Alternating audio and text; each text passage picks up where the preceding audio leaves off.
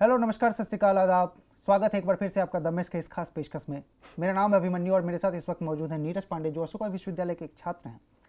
और जैसा कि हमने पिछले एपिसोड में बातचीत की थी एक दूसरे छात्र से नीरज से भी हम जानना चाहेंगे कि जो जवाहरलाल नेहरू विश्वविद्यालय में जो छात्र आंदोलन चल रहे हैं उनके बारे में ये क्या राय रखते हैं? और सबसे पहले तो स्वागत है नीरज आपका। जी धन्यवाद। नीरज आपने देखा होगा खबरों में पूरे दिन भर छाया रहा था जेएनयू छात्रों का आंदोलन। हाँ जी। क्या लगता है आपको कि छात्रों का जो ये आंदोलन है इसके बारे में आप क्या सोचते हैं? किस नज़रिए से देखते हैं इसको? अगर हम देखें तो एक तरफ़ से ये आंदोलन सही भी है क्योंकि जब ये पॉलिसीज़ बनाई जाती हैं तो मैं मानता हूँ कि गवर्नमेंट को जो स्टूडेंट हैं स्टूडेंट गवर्नमेंट हैं जो बॉडी है इतनी से बड़ी बच्चों की उसको भी इंक्लूड करना चाहिए। उनका भी जो आइडिया है उनका भी थॉट्स हैं उसको भी मतलब इनपुट में लेना चाहिए कोई भी पॉलिसी बनाने से पहले। ओके और अगर गवर्नमेंट पहले ही ऐसा करेगी तो इन प्रोटेस्ट की कभी नौबत ही नहीं आएगी। जब स्टूडेंट गवर्नमेंट जब स्टूडेंट्स के थॉट्स को इंक्लूड कर रहे हो तो पॉलिसीज़ गलत कभी होंगी नहीं। स्टूडेंट्स हमेशा उनके फेवर में रहेंगे। तो नीरज आपको क्या लगता है कि कहाँ चूक हुई सरकार से? गवर्नमेंट ने कहाँ ध्यान नहीं दिया? कहाँ सरकार जो है इस आंदोलन को रोक सकती थी? कौन से उपाय नहीं किए गवर्नमेंट ने जिसकी वजह से ये आंदोलन इस नतीजे पे पहुँचा? एक तरफ़ से तो मैं ये भी सोचता हूँ कि जो ये फ़ीस या जो हॉस्टल फीसें बढ़ाई गई हैं ये एक तरफ़ से सही भी है क्योंकि जो फ़ीस पुरानी फ़ीस जो अभी चल रही है वो काफ़ी पुराने साल से चल काफ़ी पहले से चल रही हैं। और अगर इकॉनमी को हम देखें तो इकॉनमी को बढ़ाने के लिए कॉलेजेस को चलाने के लिए गवर्नमेंट को पैसा चाहिए। और पैसा आने के लिए कहीं ना कहीं से तो फ़ीस बढ़ानी पड़ेंगी क्योंकि तनख्वाहें जब बढ़ रही हैं तो फ़ीस भी कुछ सालों में बढ़नी चाहिए। पर यहाँ पे जो मुझे ऐसा लग रहा है दिख रहा है जो भी टीवी पे इतने भी न्यूज़ चैनल देखकर मुझे ऐसा लगता है कि गवर्नमेंट ने बच्चों का थॉट्स देखे ही नहीं है इनको इनपुट लिया ही नहीं है कि क्या ये बच्चे इसको अफोर्ड कर पाएँगे? क्या ये जो पॉलिसीज़ जो भी बनाई जा रही हैं, ये बच्चों के हित में है या नहीं है? पर एक चीज़ और भी है, क्योंकि जो मैंने अभी कल ही एक ब्लॉग पढ़ा था, उसमें लिखा था कि गवर्नमेंट ने ये जो फीसें ये बढ़ाई है, ये सिर्फ़ जो अबव पॉवर्टी लाइन है, उनके लिए बढ़ाई हैं, जो इकोनॉमिकली वीकर सेक्शन है, उनके लिए फिर भी उन्होंने they have the different policies जो उनके लिए अलग फीसें होंगी, जो कम फीसें होंगी। मैं अपने तमाम दर्शकों को एक बार बताना चाहूँगा कि इस पूरे आंदोलन से जुड़ी हुई तमाम तरह की भ्रामक खबरें, कई तरह की जानकारियाँ जो हैं, लोगों तक पहुँचाई जा रही हैं।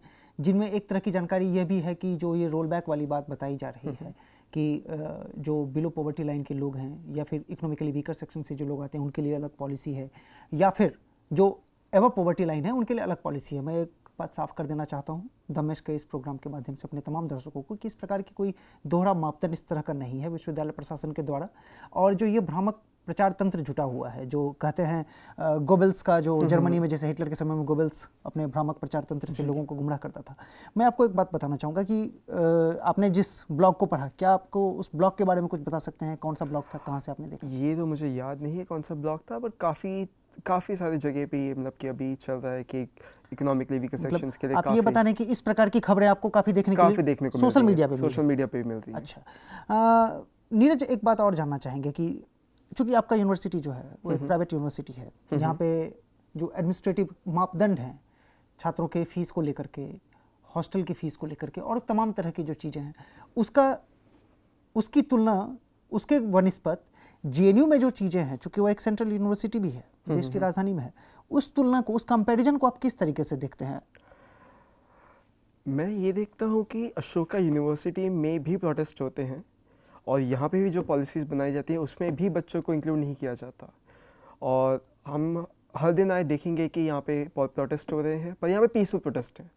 यहाँ पे उस लेवल पे प्रोटेस्ट नहीं हो रही क्योंकि एक तो ये फैक्टर है कि यहाँ पे छात्र काफ़ी कम हैं। और जे में जो प्रोटेस्ट हैं वो पीसफुल नहीं रहते।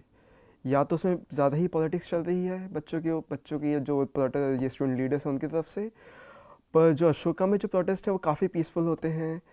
और जो स्टूडेंट जो हमारी एडमिन्स हैं ये सब जो अशोका को चला रहे हैं वो इवेंचुअली आके बच्चों को सपोर्ट भी करते हैं। तो इवेंचुअली जो भी होता है पीसफुली सेटल हो जाता है। ओके अ, नीरज आपसे आगे हम बातचीत जारी रखेंगे। एक जो बात आपके बातचीत से निकल के नीरज की बातचीत से एक समझ में आई कि जो अशोका विश्वविद्यालय में जो प्रोटेस्ट होते हैं वो एक पीसफुल प्रोटेस्ट है और इनका मानना है कि जो जवाहरलाल नेहरू विश्वविद्यालय के जो प्रोटेस्ट हो रहे हैं वहाँ के जो छात्र आंदोलन कर रहे हैं वो पीसफुल नहीं रहते हैं और इसके पीछे इन्होंने अपनी वजह भी बताई है और इनका यह भी मानना है नीरज का कि चूँकि यह जब अशोका में प्रोटेस्ट करते हैं यहाँ पे प्रशासन इनके साथ देता है और इस प्रकार की बातें इन्होंने कही है। हम इस चर्चा को आगे बढ़ाएँगे। इस चर्चा को आगे जारी रखेंगे आने वाले समय में। अन्य छात्रों से बात करेंगे, उनके विचारों को हम जानने की कोशिश करेंगे। बने रहिए हमारे साथ दमश के इस यूट्यूब चैनल पे और कमेंट सेक्शन में अपने कमेंट करके बताइए कि आपको नीरज की बात कितनी सही लगी और इस पूरे बहस में आप ऐसे कौन से प्रश्न जो आपके मन में उठ रहे हैं और आप हमारे माध्यम से यह अन्य छात्रों से जानना चाहेंगे। बने रहिए दमश के साथ, सुनते रहिए। धन्यवाद।